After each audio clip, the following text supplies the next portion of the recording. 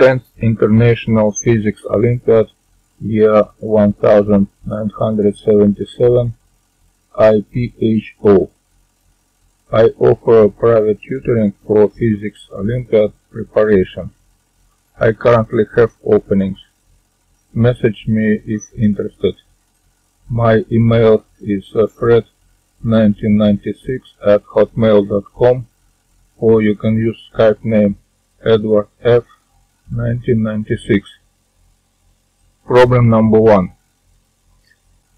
Compression ratio of a 4-stroke internal combustion engine is epsilon equal 9.5. The engine draws in air and gaseous uh, fuel at a temperature 27 degrees Celsius at a pressure 1 atmosphere equal 100 kilopascal. Compression follows an adiabatic process from point 1 to point 2. See figure 1.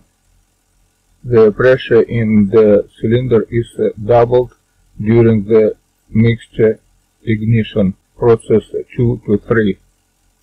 The hot exhaust gas expands adiabatically to the volume 1 half, pushing the piston downwards, process 3-4.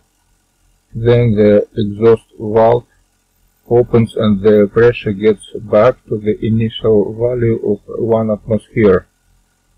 All processes in the cylinder are supposed to be ideal.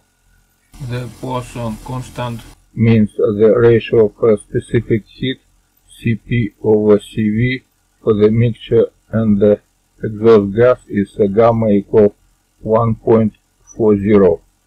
The compression ratio is the ratio of the volume of the cylinder when the piston is at the bottom to the volume when the piston is at the top. Question A. Which processes run between the points 0 to 1, 2 to 3, 4 to 1, 1 to 0? Question B.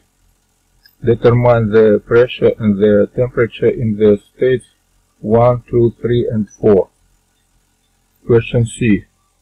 Find the thermal efficiency of the cycle. Question D. Discuss obtained results. Are they realistic?